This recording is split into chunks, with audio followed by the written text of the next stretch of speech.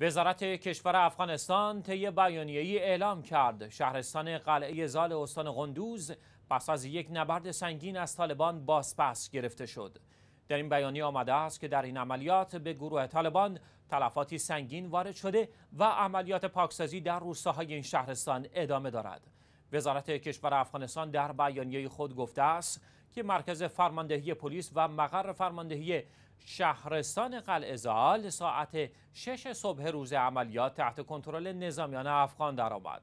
مسئولان محلی استان قندوز نیز تصرف این شهرستان به دست نیروهای دولتی را تایید کردند و گفتند که بالگردهای نظامی خارجی در این عملیات از نیروهای زمینی ارتش افغانستان پشتیبانی کردند. این مسئولان افزودند که گروه طالبان بخشای زیاد از نقاط شهرستان قلعه زار را مینگذاری کردند و پاکسازی آن نیازمند زمان است.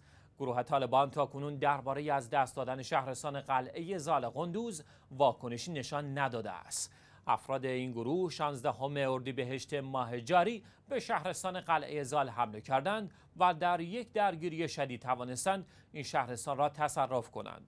استان قندوز در شمال افغانستان واقع است و در دو سال گذشته دو بار به دست طالبان سقوط کرده و در حال حاضر نیز افراد گروه طالبان در اطراف شهر قندوز حضور دارند.